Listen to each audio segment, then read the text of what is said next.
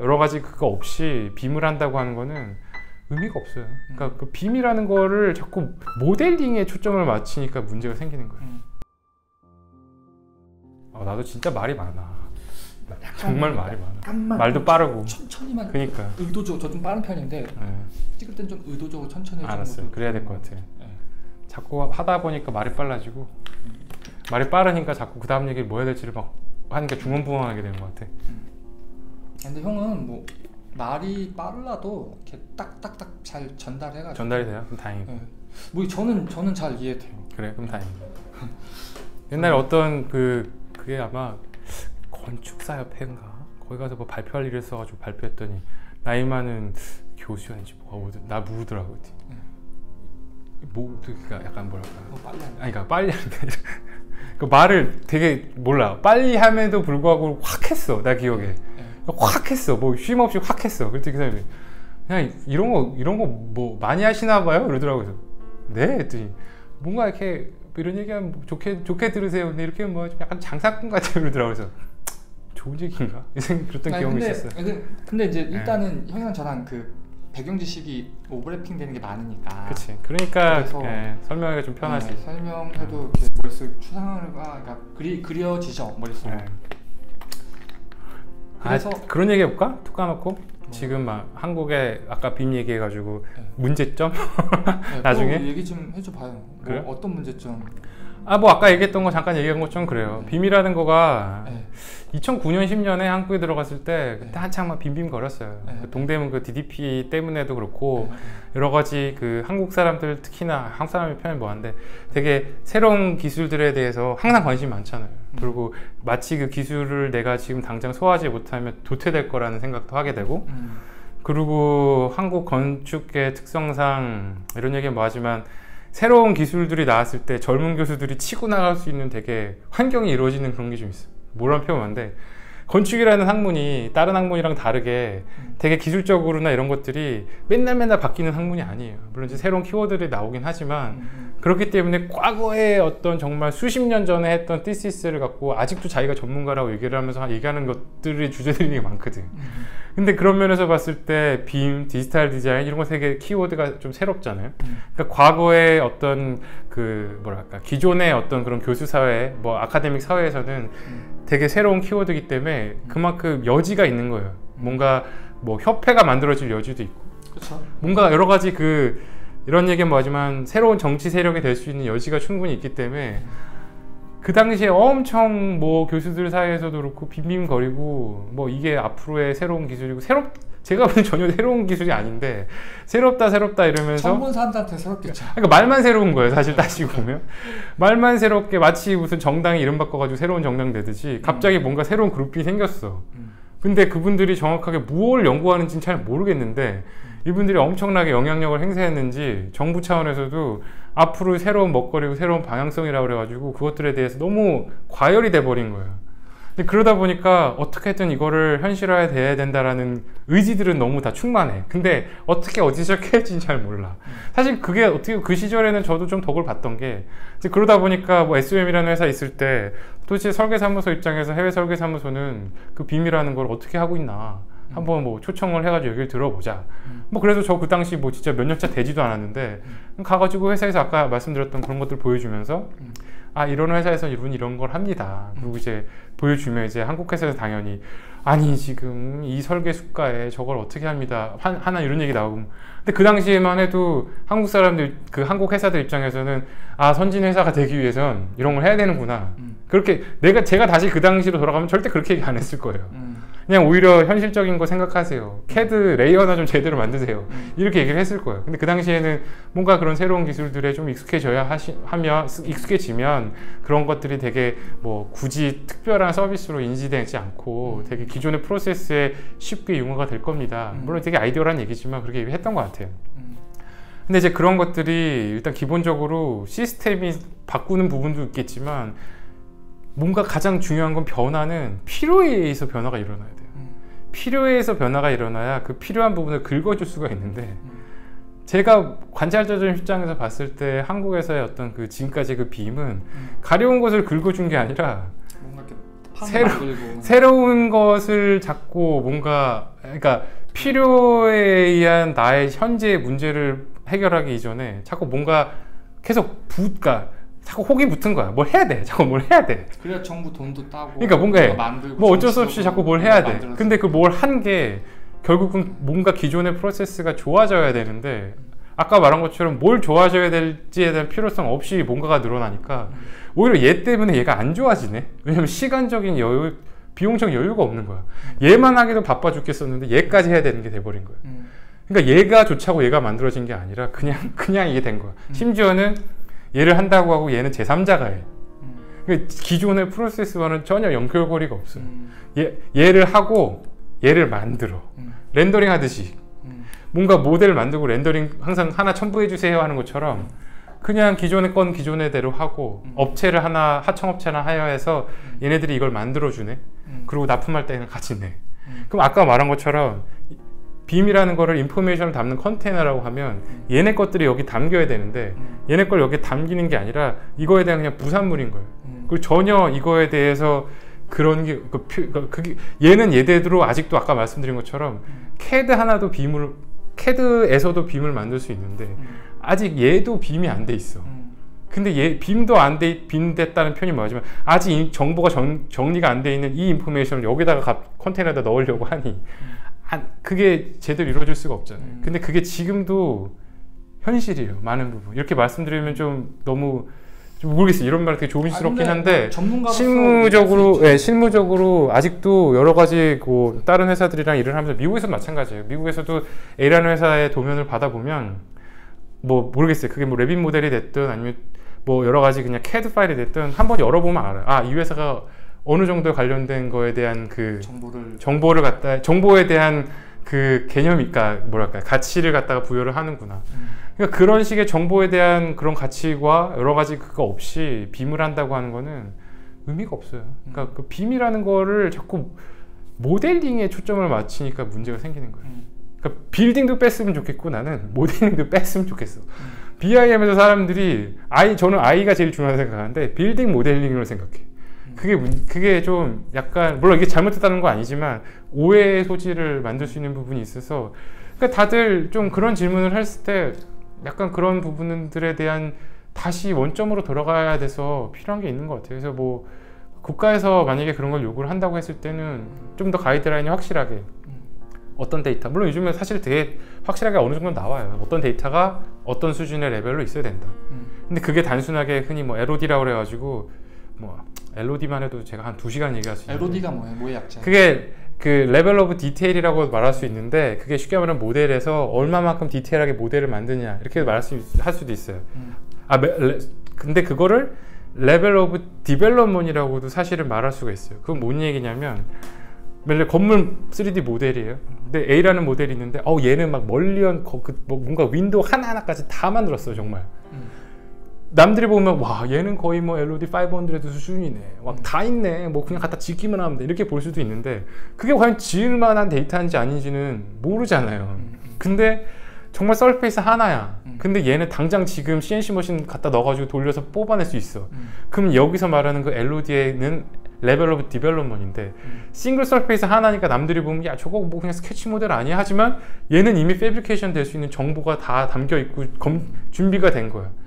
그러니까 그 디테일이 아무리 많은 모델보다도 어떻게 보면은 이 develop이 많이 된 모델이 더 필요한 경우가 많이 있잖아요. 음. 그 뭔가 그런 식의 개념적으로 내가 필요한 부분들을 얼마만큼 구현을 했느냐에 대한 그 연결고리가 중요한 거지. 그 자체가 중요한 건 아니거든. 음. 그러니까 예를 들어 나는 막 엄청나게 막, 뭐, 막 만들었어. 막 디테일 다 만들었어. 음. 근데 시공사는 아 이건 필요 없고 나는 이건 창호 쓸래. 음. 이건 창호에 뭐 타입 뭐뭐 쓸래. 아 그럼 거기다가 모델링한 게 무슨 의미가 있겠어요?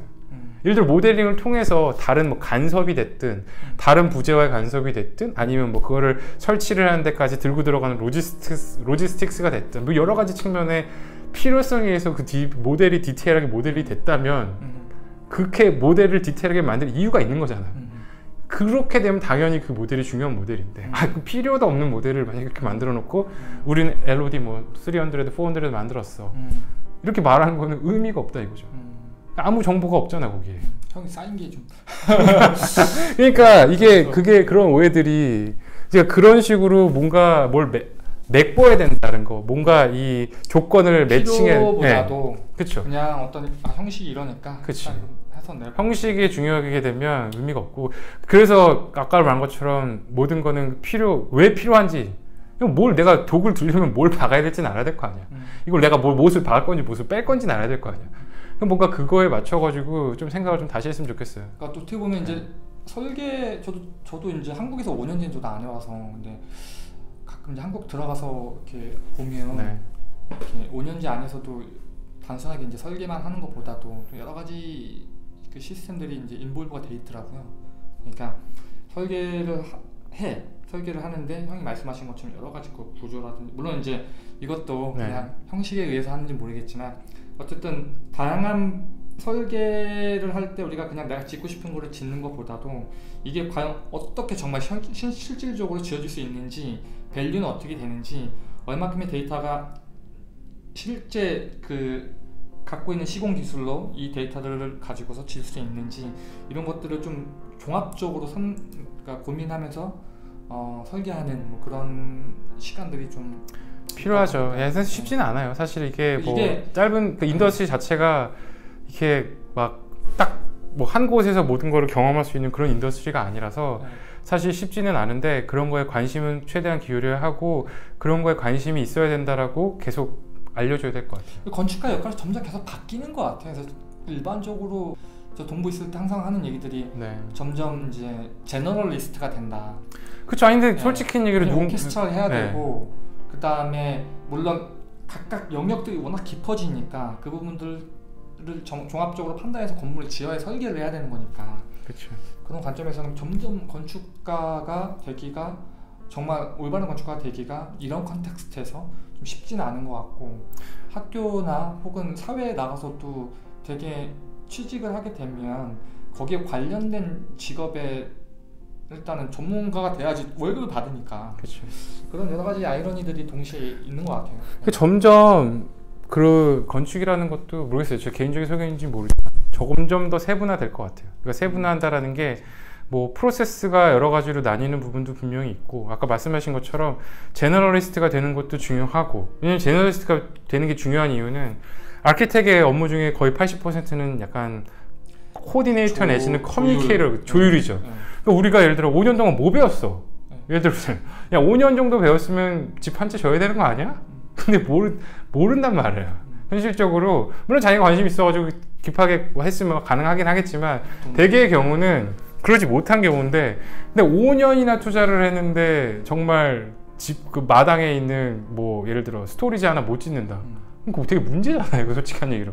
그러면 뭘 배우냐를 따지면 결국은 커뮤니케이션을 할 수 있는 여러 가지 그런 모르겠어요. skill도 배웠겠지만 그런 여러 가지 그 뭐랄까 이해 누군가 어떤 어떤 거 환경을 이해하고 그거에 대해서 어느 정도에 대한 정의를 내리고 그거에 대한 방향성을 설정하고 음. 되게 그런 planner적인 측면 그리고 communicator 측면 뭐 그런 것들을 많이 배운 것 같아요. 그래서 그런 거를 배운 거를 가장 활용을 하려면 결국은 아까 말한 것처럼 모르겠어요. 개인적으로는 뭐든 뭐 그 인포메이션이 됐든 아니면 뭐 여러 가지가 됐든 그거를 잘 자기가 흐름적으로 끌고 갈 수 있는 그런 능력을 갖다 계속 배양을 해야 되는데 졸업과 동시에 너무 자기 그냥 내 책상에 올라와 있는 이것만 보게 돼버리면 더 이상의 그런 흐름이 깨져버리고 내가 5년 동안 뭘 배웠나 싶은 거죠. 내 오늘 일에서는. 음. 왜냐면 그게 쓰여지지 않는 것도 문제지만 그 내가 하는 일 자체를 내가 그렇게 바라보지도 않으니까. 음.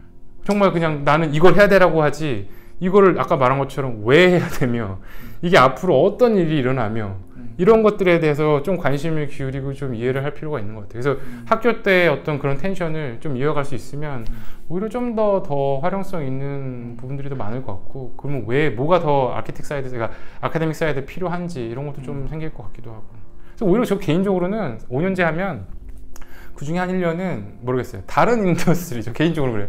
다른 industry에서 좀 한 1년 있다 갔으면 좋겠어요.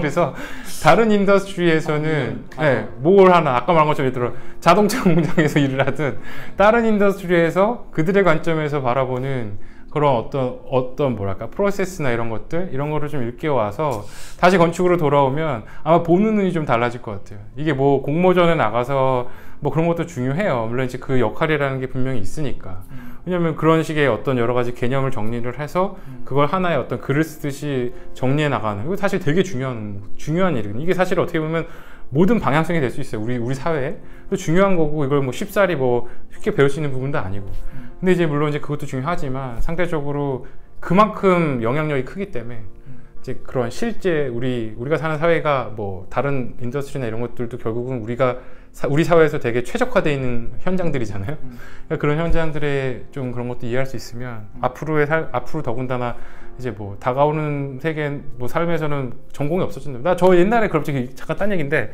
어느 날 그 리서치 할 때 그때 아까 잠깐 얘기했지만 그 뭐 빌딩을 나무 짓듯이 한다고 할때 음. 그때 생물학 전공하시는 분을 초청했었어요 회사에. 음. 그래서 왜냐면 그때 생각한 게 생물학에서 세포들이 서로 간에 관계를 하고 분열을 하는 이, 이 메커니즘만큼 완벽한 옵티마이제이션은 없다고 생각을 했거든요. 나무가 하나가 자라면서 잎사귀가 어느 쪽으로 많이 나가고 다- 가지가 어느 쪽으로 나가는 거 순간순간 옵티마이제이션에서 올라가는 거잖아요. 그래서 나무 하나가 자라나는 걸 우리가 모델링을 하면 이거는 우리가 모든 거를 모델링할 수 있다. 뭐 이런 생각을 했었어. 음. 그래서 그래서 생물학자도 초청해서 얘기를 하다 보니까 어느 날 그런 얘기를 하더라고요.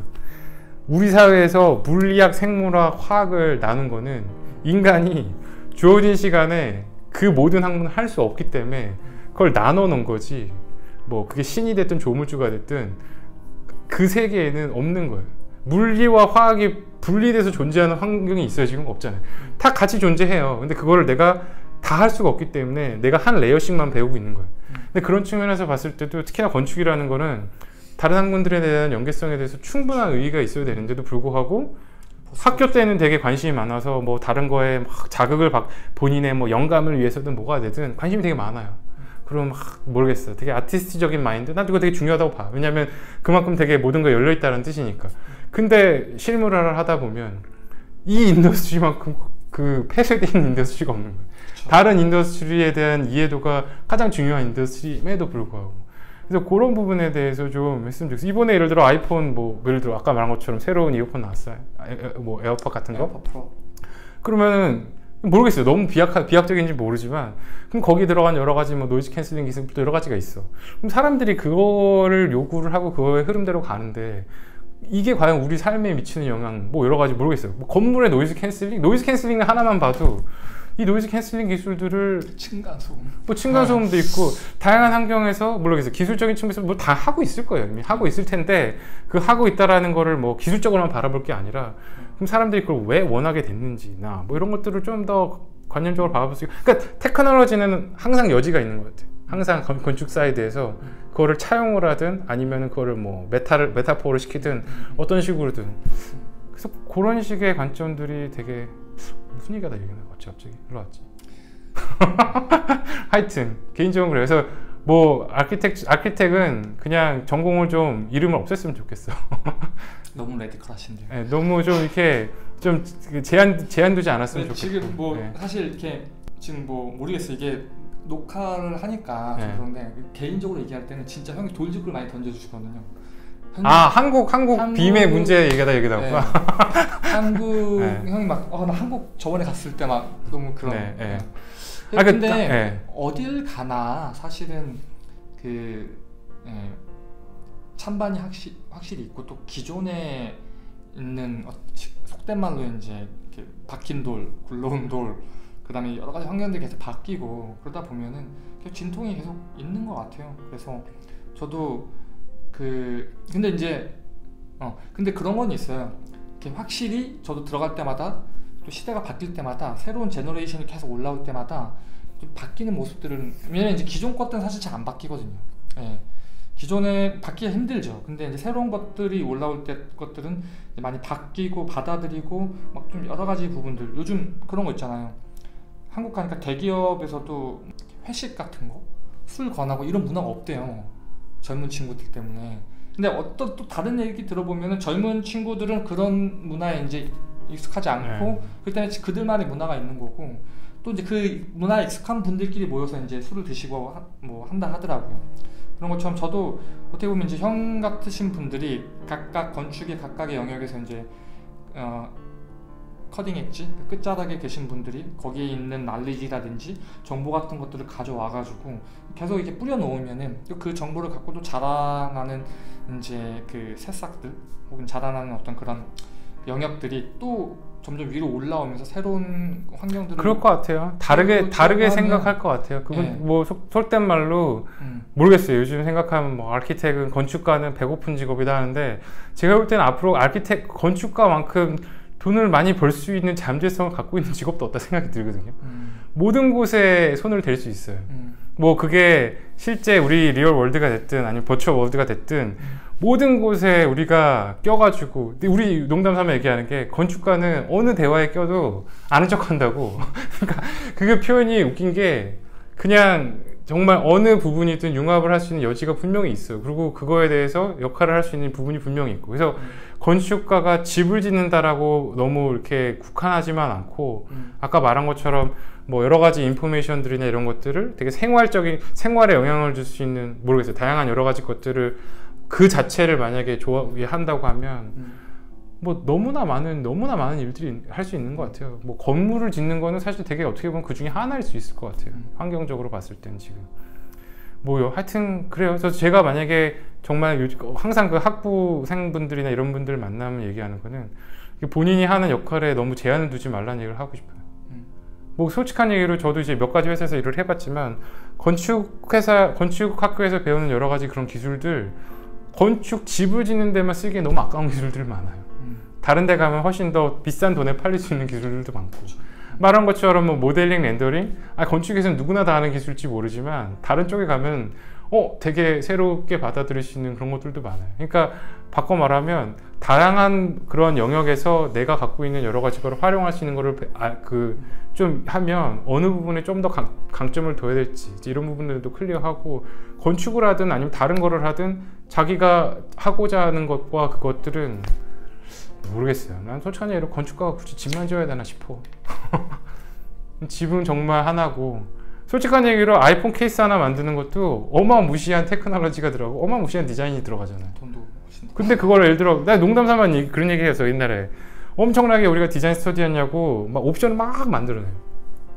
야 근데 우리가 이거를 지금 건물 디자인 옵션으로 이걸 만드는 게 아니라 아이폰 껍데기 옵션을 이렇게 만들었으면 그 중에 하나 pick돼 가지고 대박만 나면 야 이거 완전 우리 끝나는 건데 그렇죠. 이걸 왜 건물 디자인 한다고 해가지고 그 중에 하나 디자이너가 pick하고 나면 나머지는 다 쓰레기통 들어가고 흔히 말해서 뭐 패턴 스터디 같은 것만 하더라도 엄청 패턴 스터디 많이 하잖아요. 그리고 엄청나게 해가지고 그 중에 하나 pick한단 말이에요.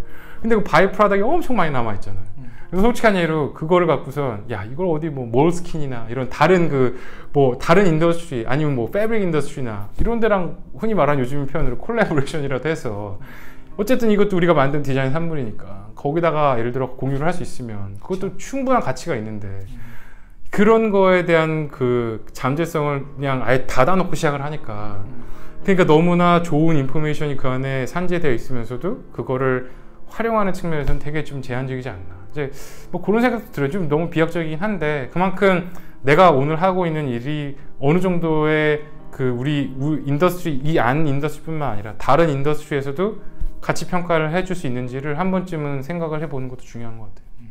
그 평가를 받아야 되고 음. 제일 위험한 거는 검, 이 industry에서 만든 거를 이 industry 안에서만 평가하는 것도 되게 위험한 것 같아요. 그런 것도 좀 필요하고 그런 생각이 좀 들어요. 앞으로는 특히나 좀 어줍지 않은 얘기예요. 솔직히 제가 할 얘기는 아니에요. 솔직히 그냥 아, 뭐형 예, 생각- 예. 네, 그냥 얘기하면- 그런 생각이에요. 좀 예, 계속 벽을 좀 허물되 그런 쪽에 좀 없어야 될 것 같고 뭐 그런 가리 학생들 입장보다도 사실은 교수들 입장에서도 좀 그런 것들을 계속 좀 일깨워 줄 수 있는 환경이 있었으면 좋겠어요. 뭐 너무나 모르겠어요. 제, 제 경험은 그래요. 제가 물론 제가 학교 다닐 때와는 지금이 다르기 때문에 다르겠지만 야, 그거 있다. 유학 얘기하니까 생각나는 거 딱 하나 있다. 뭐, 한국에서 예를 들어 뭐 스튜디오에서 설계 수업에서 디자인 리뷰를 하면 보여주고 교수님이 싹 보시면서 마커로 캬 하시고 그리고 이제 정말 어 그거 꼭 가져가 가지고 이제 다음 옵션 하잖아요. 근데 한 번은 여기 학부 때 뭐 그런 식으로 이제 리뷰를 했어요. 근데 물론 이제 좀 분위기도 다른 거는 이제 데스크 리뷰 많이 하잖아요. 한국도 많이 하지만 근데 어쨌든 간에 했어. 그래서 이제 뭐 교수가 이렇게 막 했어요. 마크업을 했어요. 근데 그거에 대해서 내가 말았다. 뭐 이런 식으로 그냥 끝났어. 음. 그러니까 부르더라고 나중에. 너왜너왜 받아치지 않냐. 음. 자기의 의견을 얘기했는데 너는 왜 네 의견을 얘기하지 않냐는 거예요. 그래서 음. 아, 교수의 의견을 내가 받아치나? 뭐 이런 생각했던 것 같아 그 당시에는. 음. 그때 첫 번째 설계 수업에서 그 사람이 야 내가 얘기한 게 정답 아니야. 그건 내가 그냥 내 생각을 얘기한 거고 음. 내가 정답이라고 누가 얘기해? 너가 얘기하는 게 정답일 수 있는 거잖아. 음. 그럼 나랑 싸워야지. 그걸 왜 오케이 하고 다음번에 내가 그려준 대로 그려오는 거냐는 거야. 음. 그게 뭐냐? 내가 무슨 지금 널 뭐 회사 직원이냐 네가 이런 얘기를 하는데 그 당시에는 그 말이 좀 충격이었어요 개인적으로. 음. 그 당시 제가 다닐 때 한국에서의 그 설계 수업에서의 교수님이 그려준 거는 다음 시간까지 이걸 그려와야 되는 거였거든. 근데 그게 아니었다라는 거에 좀 되게 그 당시에는 좀 달랐던 것 같아. 모르겠어요. 그게 유학의 장단점이라고 보긴 뭐하지만 갑자기 그게 생각이 나네. 그 얘기를 하니까.